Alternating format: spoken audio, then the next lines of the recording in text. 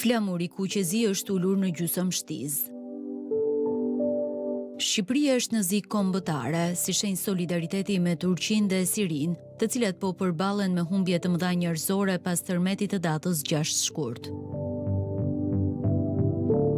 Zia kombëtare ka kaluar kufinjtë e Shqipërisë, duke depërtuar në çdo vend ku ka shqiptarë.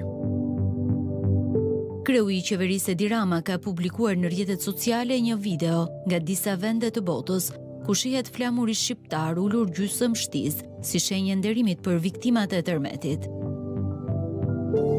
Shqipëria i është bashkuar që në orët e para dhimbjes që ka shkaktuar tërmeti shkatërrimtar në Turqi dhe Siri. ndërsa ka dërguar edhe një numër të konsiderueshëm forcash të kërkim-shpëtimit në zonat e goditura nga tërmeti.